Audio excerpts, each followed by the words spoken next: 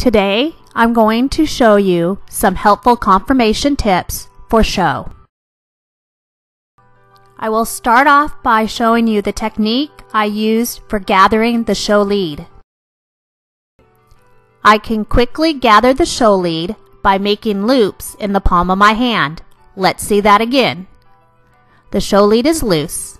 I gather it up by making loops as if a figure eight and tucking it in to the palm of my hand.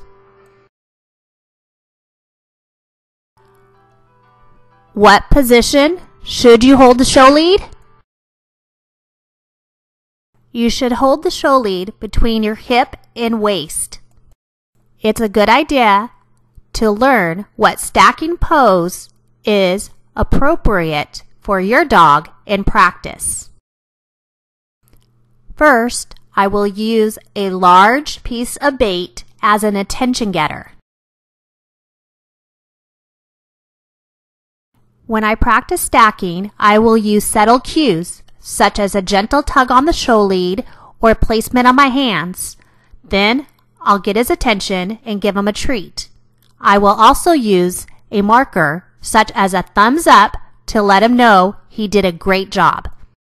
It's always a good idea to practice different poses to find out which poses shows off your dog's best attributes. I will now demonstrate how I practice the down and back. When I do the down and back, I always make sure the dog stays in line with the judge. I then do a courtesy turn. Let's see that again. I do a courtesy turn making sure my dog lines up with the judge coming back. I then quickly turn, get his attention, and have him stack square. I then give the marker a thumbs up to let him know he did a great job. At the end of each lesson, I always remember to give a release word in praise.